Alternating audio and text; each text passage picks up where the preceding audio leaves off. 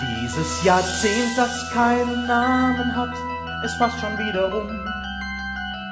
Und viel hat sich verändert seit dem Millennium.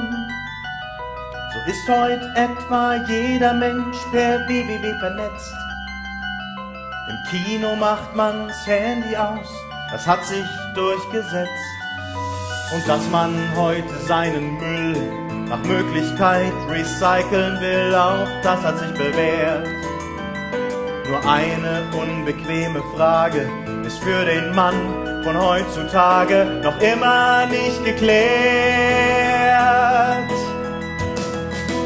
Soll ich mir den Sack rasieren oder besser nicht? Das Problem kriegt Tag für Tag ein schwereres Gewicht.